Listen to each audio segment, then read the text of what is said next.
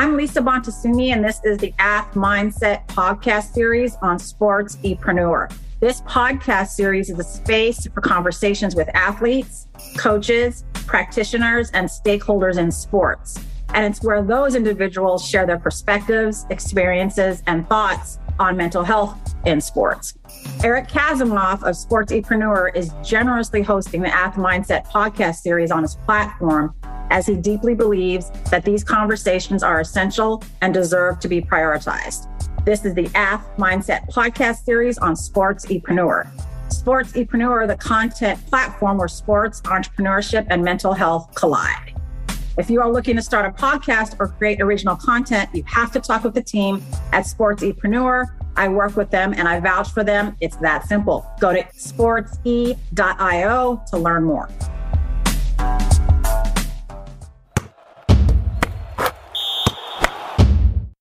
Welcome, everyone. Today we have Sydney Supple with us. She's a collegiate softball player.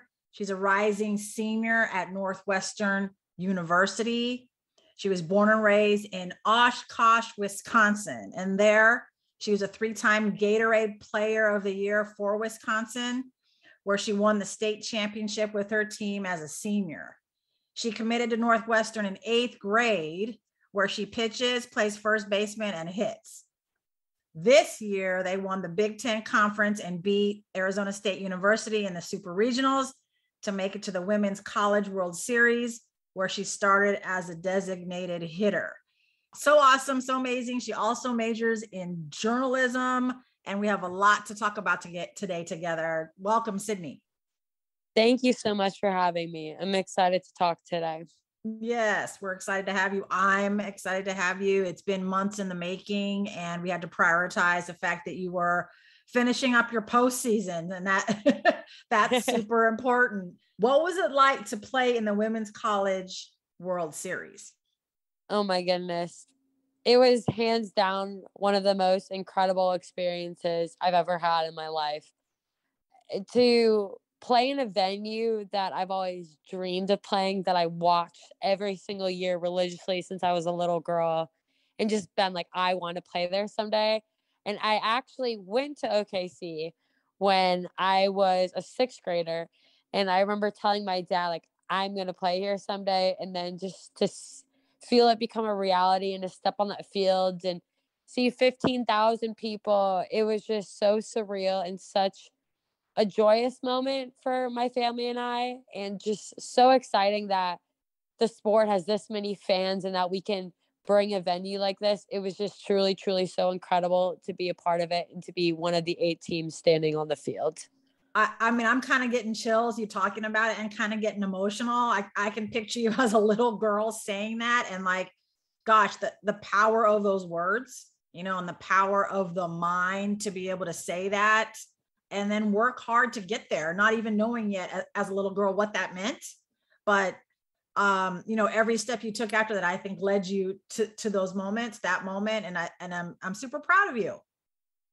Oh, thank you. And I mean, you understand you're a softball mom, and it's been so cool these last month. I've been kind of watching my little nephew play baseball and walking by all the little softball fields I played on when it was probably an audience of you know 20 everyone having a mom or dad there and and then to think about you know how that led me to this stage is just it's been such a crazy ride and i'm just so blessed to that the sport has brought me so many incredible moments. Yeah i'm sure. I mean let's speak about that like in some ways we have discussed too like sport and softball as a vehicle for so many other things. I mean in itself it's an amazing opportunity to test your physical abilities, your skills, your mental fortitude to compete at the highest level here. Like what what what do you appreciate the most about what softball has brought to you? You know, I truly believe softball's a game that represents so much of life. And I have had to give my heart, soul, and body to softball for so many years. And it's brought me probably some of the highest moments of my life, but it's also made me face so much adversity. You know, I've had tough, heartbreaking moments with the game, but it's taught me how to get up, how to believe in something bigger, how to lean on people around me and just let people love me and support me. And in return, be able to love my teammates and love my coaches and kind of get through whatever obstacle we might have been facing and to come out on the other side, no matter where we finish. Like just, and having so much of those experiences, softball has prepared me for life. And it's truly just made me a fighter and it's allowed me to put my heart out in life without being scared of being hurt because I know what it feels like to be knocked down, but I also know how to get back up. And that's like think the biggest lesson it has taught me. I mean, those are a few lessons. I mean, it, those are and those are life lessons. And I think it's so important mm-hmm. to stress, right, that our sport can teach us so much about life, teach us so much about how to relate to others, how to lean into people, how to give support as well. Like, describe the relationship with your teammates with this really important Northwestern team this year. Mm-hmm. I truly believe our chemistry was what led us to the Women's College World Series. And every single one of my teammates would agree with that. We just had such a focus on creating real, genuine, authentic relationships from the fall. And, you know, just really emphasize that and took time to go on one on one, you know, out, out to lunch, go on a walk, go on coffee with somebody maybe you didn't really know well on the team. And we just got to know each other on such a personal level. So showing up every single day was fun because you loved the people you were around. And that's so important in any sport in college athletics because it's a grind some days. You know, you're getting up every single morning, you're staying late. And if you can enjoy the people you're doing it with, it doesn't feel like work anymore. You get excited to finish a long day of classes and to go be with your best friends. And I just feel like we created such a special environment where we truly wanted each other to succeed. And when, once we developed that selflessness and this genuine relationships, it sparked and raised our level of play so much. Wow. Wow. I, I can only imagine. I mean, what you're talking about is building, like you said, that team chemistry, the team cohesion, the bond. Mm-hmm. Um, where yeah, you're playing for yourself, each other, and your school, and your parents, your family. Tell me, because I think this is a really, really important piece of it. Was that were those like one-on-ones and coffees? Were those um did those originate from the players themselves? Like, did that come as an idea, or is this something that the coaches um, kind of brought into your um, kind of focus and wanted you guys to do? Yeah, I think a lot of it, the action was taken by the players. You know, I think we had a meeting at the beginning of the year where, you know, our coaches expressed like, eh, you know, we have a great chance to do something, but the only way we're going to do it is by us all riding one bus together. Mm. And that message was so key to us. And from there, we took action as players. And, you know, it's not like they were scheduled, you know, appointments that we had to attend. Like it was reaching out on our own times because we wanted to and we knew it was important. And, you know, maybe we had to put ourselves out there the first few times, but after we did that, it just came so natural and you just wanted to keep hanging out with these people that it was just it happened in such a fluid way. Mm, mm. Yeah, you you ladies are go getters and like you said, fighters. Like you know, you you take yes. you take heed of a message and you go for it. I love that. It's so important and such you know a role modeling way of being. Like you're you're more than an athlete out there. You're you're someone's friend. You know, deep mm-hmm. deep friend. Like you care, and I think like you said, that takes the game to a whole nother level. Um, how do you see? I mean, you're a rising senior, you have one more year. Um, what do you see as the future of softball? Like, where is it going?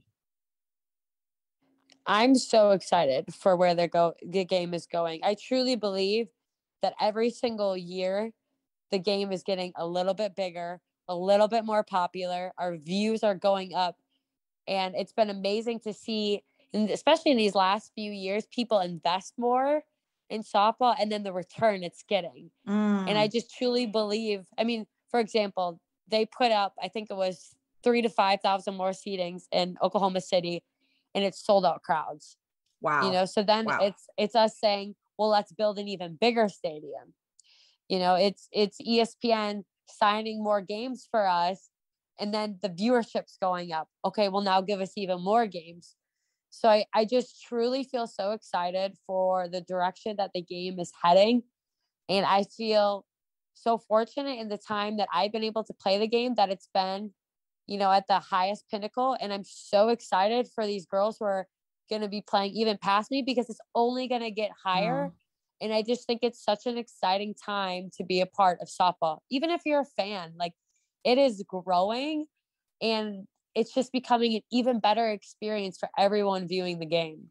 Absolutely. And having more access for us to view the game as often as possible.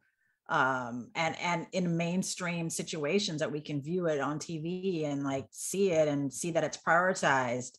Um, it could be prioritized more, and we'll get there. But like it, you Mhm. know, it's way different when I was a kid for sure. Um, do you see that? Um, well, how do you see um athlete mental health in your sport? Like how important is that to you? How do you advocate for it? What are your thoughts there? Mental health is so critical in every sport, but I think extremely within softball because people say it all the time it's a failing sport. And you have to learn how succeeding three times out of 10 is a great average. It's a great year. And, and it's crazy that that's the reality. Mhm.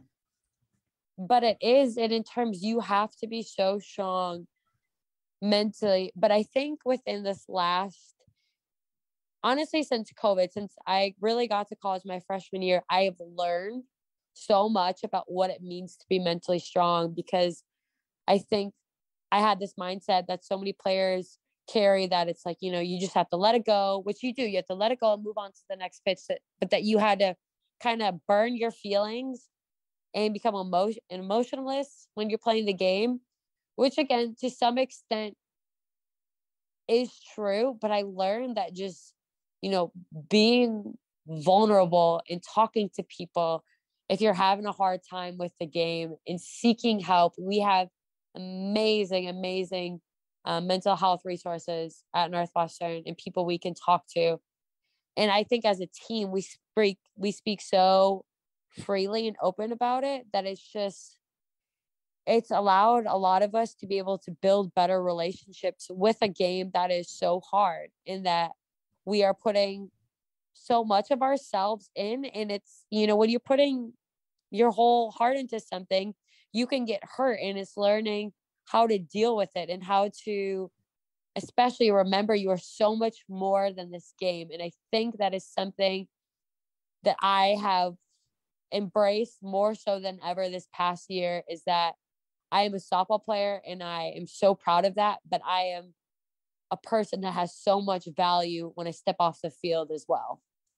Absolutely and i wish and hope and i know one day every young lady will feel that way too and, and realize it and own it um, and know that when you quote unquote fail in the game in that moment for whatever reason or not quite hit it the way you want literally or figuratively that doesn't define you as a person. You are not a failure. It might be a failed attempt but then we recover um, you know and that's the mental fortitude of being able to you know respond to adversity which it sounds like you've you've done a lot of and it's made you who you are which is an impressive young lady.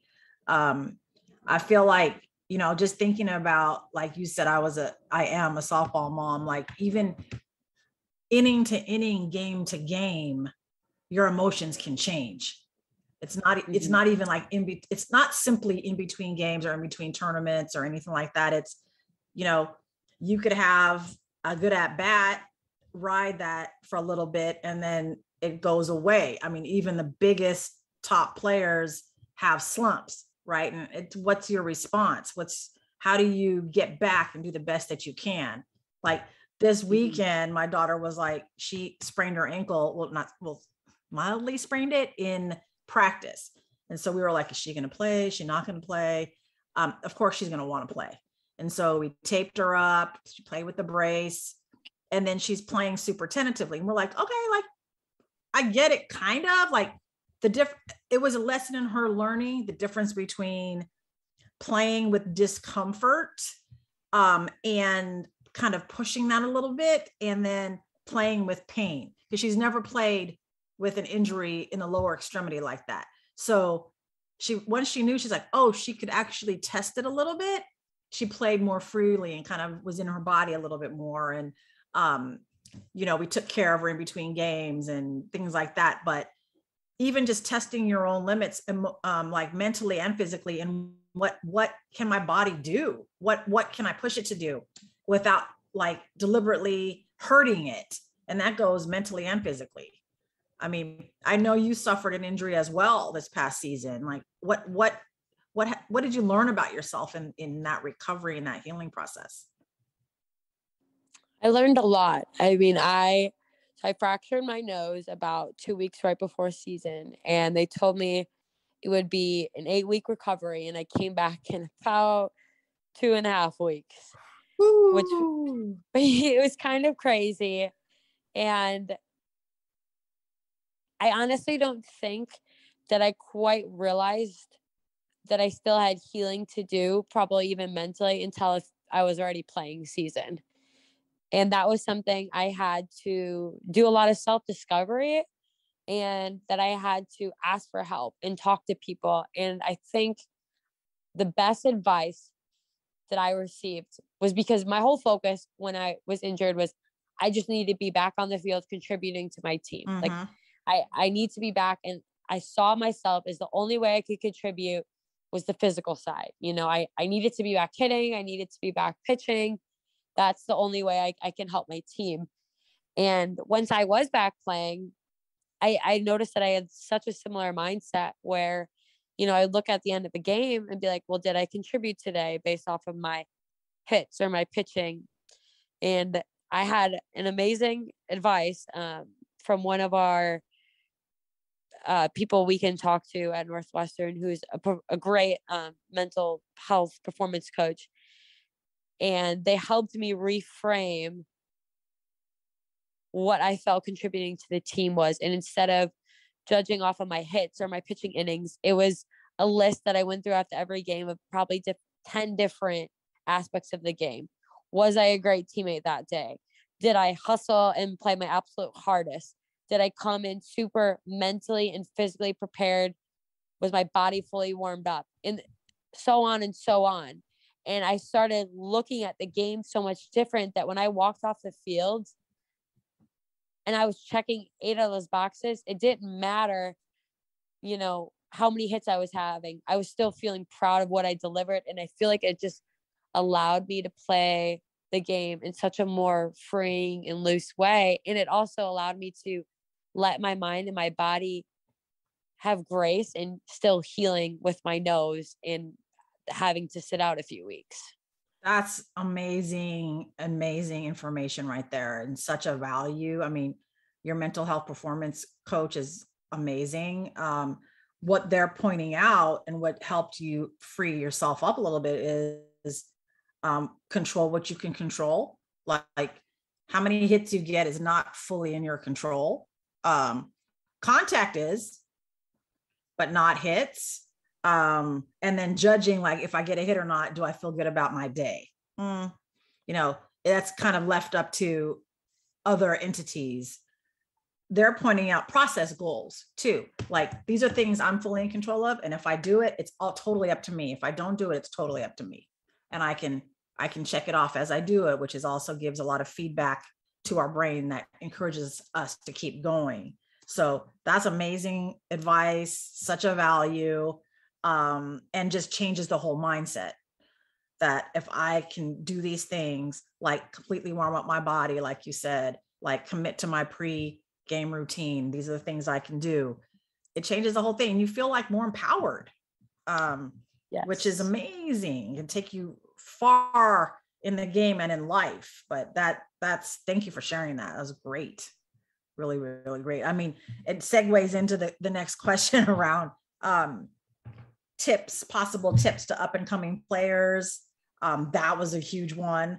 Um, I also know that, you know, you can contribute your leadership, which I know you have, your ability to lead verbally and, and by action um, is another way to contribute.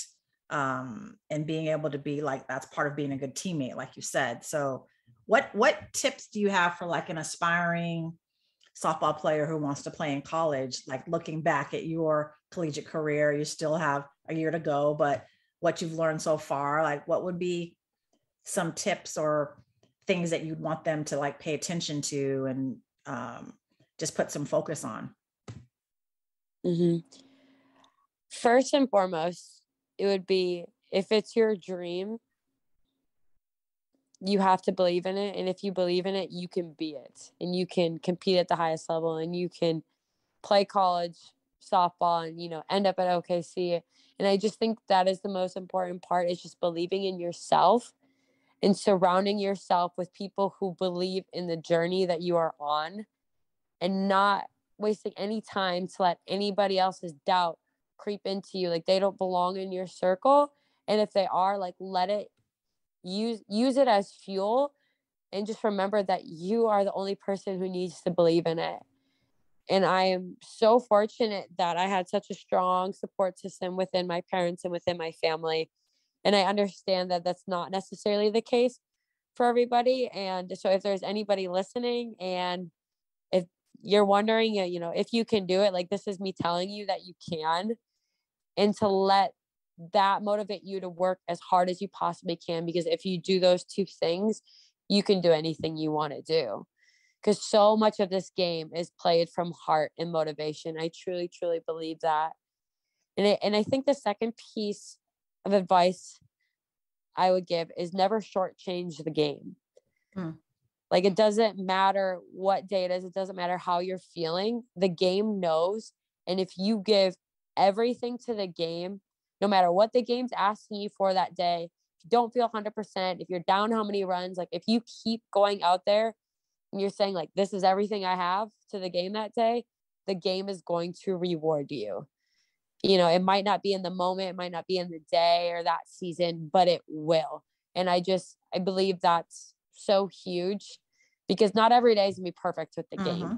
But if if you pay your dues, the game is gonna reward you tenfold again, so important and can only come from someone who's lived it. Like, not just what you're saying, but how you're saying it, how you're saying it, the passion and your belief is so strong.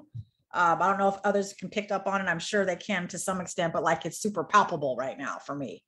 Um, I think. What, Thank you. You're welcome. I mean, I think that um, you're speaking to a few different ideas which are are key is that belief you know that that and and enforcing the belief because if you believe in yourself alone the belief is going to wane is what you're talking about right you have to have people mm-hmm. in your corner on your side to keep uplifting that belief and enforcing it um, you're also talking about the sort of society we live on live in it depends on the age range of folks but like that immediate gratification like waiting and being patient and knowing that the game will reward you. It might not be on your own time and in your own desire but it will and to look for that. You know what i mean? Like like know that you're investing in it and it will come. It will come yes. right? So those are that's again, some amazing, amazing advice that only again comes from experience. Um, what about I'm gonna flip it a little bit. What what tips, because I know you've played softball for many, many, many years. You've had different kinds of coaches throughout your career, from little girl to now. Like, what what were some favorite characteristics in a coach that mm-hmm. you really, really liked helped you be not just a better player but a better human not just the technical aspect of the game right that they can coach on but what personal characteristics did or personal commitments did they make um that that you really that it really spoke to you and it really helped you and your teammates That's a great question. And I'm so fortunate. I've had a handful of amazing coaches to really just choose from and reflect on. And I feel really fortunate that I attended a university that I just have so much respect and admire our head honestly our whole coaching staff. Um, but my head coach, Kate Drohan, and then her twin sister, associate head coach, um, Caryl Drohan, and pitching coach, Michelle Gascoigne. Like, we have an incredible all female staff uh, besides our trainer. He's like the one male and he embraces it, and I love it so much. That's awesome. but I, I think it's just the way it's like I watch Kate, and I always say she she carries herself more professionally and more polished than any other woman I've ever met. And she just lives it day in and day out. And it's so inspiring that the person who you're having lead you, like as a team, is also someone you like hope to emulate someday. Mm. And I think probably some of the char- characteristics that I like love about her the most is one is that she's just such a strong woman, but she teaches us us lessons about how to be strong women and not just strong softball players. Mm-hmm. And just talking about how do we respond to adversity or how do we hold our head high when we walk into a room, you know, where you might feel a little intimidated. Like that's lessons I'm going to take into my job and I'm going to take into my life someday. And I just watch how she embodies it every day. And, and, and I think it's so cool. And I tell this to a lot of people, but she is a mom um, her and my pitching coach, my pitching coach is a, a newly mom, and they take their daughters to work and to practice every single day. And it's such a incredible environment. And it's so powerful to see that she's at the top of her game. She was Big Ten Coach of the Year, and she's being an incredible mom on the side of it. She's over there teaching us, but she's making sure, you know, her daughter gets her homework done or she has plenty of books to read while we're practicing. And she's coaching a top tier team like they're showing that you can do it all and as as women like that's probably one of the most empowering lessons we can see as as young women that we can be at the top of our career and be at the top of our family and just really do it all and our pitching coach she was out this fall she had her baby and she was back this season you know holding her in the stroller you know rocking her back and forth as she's coaching us i mean it's just truly incredible I love it. I love it. I mean, what what a scene to see and take in. I mean, mm-hmm. and you know the benefit that their kids are getting from being around you guys. Like, yeah, you know, we love them. it's, it's they're getting so much from you, and then you are giving so much of yourselves to them too. I mean, it's there's it's such a symbiotic experience. Um, the role modeling you get, but the love and care and admiration that you give to your coaches and their kids is so cool. Um, and again, as women, to know that you can do all those things and probably, again, not doing it alone because we can't. We don't want to. We don't want to. Exactly. It's, it's you're there. I mean, they're intentional. I'm bringing my kids here because these women that they're going to be around are going to you know impact our lives incredibly during this time so yeah you guys it's it's an amazing scene no wonder no wonder you guys went so far this year in, in so many ways. Um sydney your senior year is coming what do you have planned for yourself off off the field and on? You know it's funny how many times people are saying that and i still like cannot comprehend that that's reality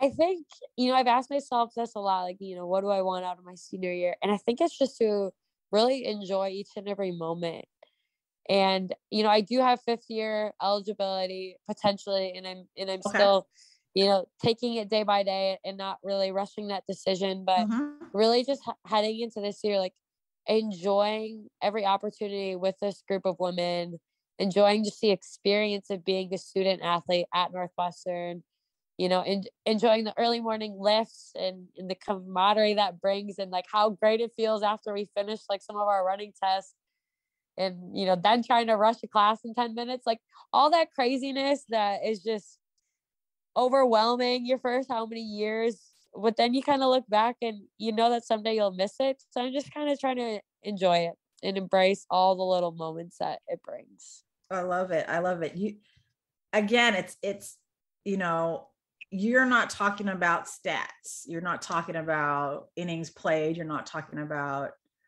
um hits batting average.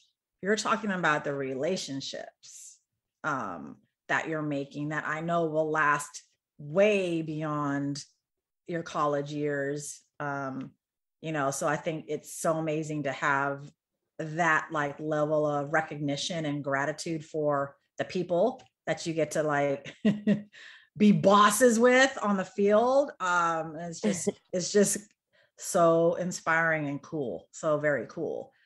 What is your i don't know if you've had a chance to think about that but like what's your dream job no matter when you graduate what's next year or the next year after? What's your dream job? My dream job since i was a little girl has always been to do broadcasting for a major network, you know, ESPN, NFL network, a certain team. Um, that's that's kind of always been my dream. I have such a passion for sports and I have a passion for broadcasting and writing because I love telling the stories sports brings mm. and telling the stories of people. Like that is to me hands down what makes sports special.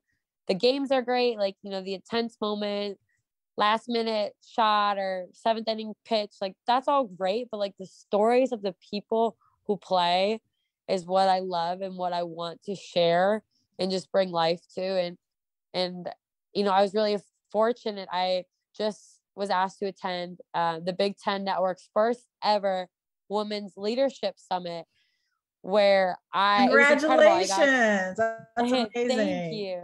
Yeah. Thank you and and I got to listen and be in the same room and celebrate, you know, the 50th anniversary of Title IX with Lisa Byington, who's the voice of the Milwaukee Bucks, with Sage Steele, who's, you know, SportsCenter every single morning. So people or women, excuse me, who have broken so many barriers and who have, you know, become the first in what they're doing. So now, you know, hopefully myself and so many others, we we can be the next. And and those are just some of the shoes that I hope to follow someday.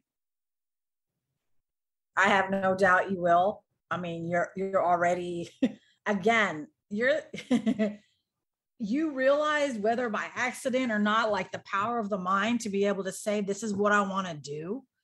this is where I want to grow my my passions. This is that where I want to express myself and to follow that. That's rare.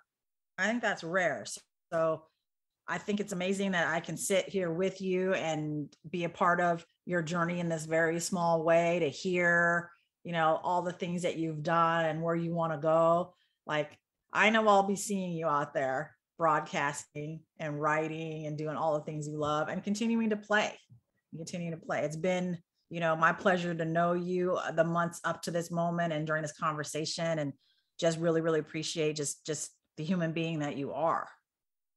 Oh, thank you. It's a pleasure of mine as well. You're very welcome. You're very welcome. And just thank you. Thank you for the opportunity. And I know, you know, this discussion is going to touch a lot of people and you know that that's why i'm here and that's why i invited you to share the space with me and so i i am not disappointed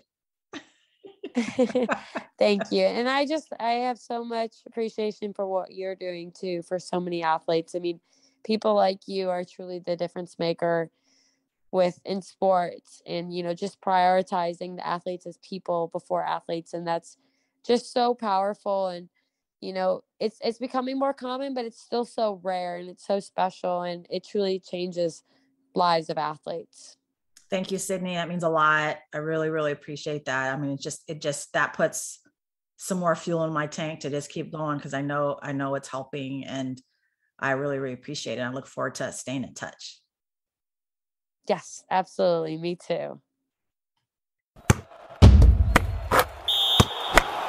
One of my favorite things about our Sportsepreneur content platform is the opportunity to chat with amazing people in and around the world of sports. We hope you enjoyed the conversation. If you want to connect more, hit us up on Instagram at SportsEpreneur.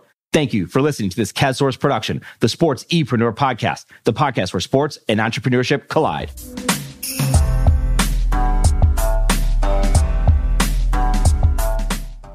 Sportsepreneur is a content platform, a collaborative team, and a marketing brand that is all about showcasing leaders and difference makers in and around the world of sports. While we create our own content, we also create content with you. This includes collaborative content and exclusive content for your brand. Think podcasts, blogs, social media, and overall content strategy. Our sports content marketing team is specifically niche for those in the sports industry. That includes sports businesses, athletes, managers, coaches, trainers, entrepreneurs, and business leaders in the sports market. The bottom line is we want to help with your sports related brand, your content marketing, and your story. Connect with us on Instagram at sportsepreneur or find us online at sportsepreneur.com. Sportsepreneur, the content platform where sports and entrepreneurship collide.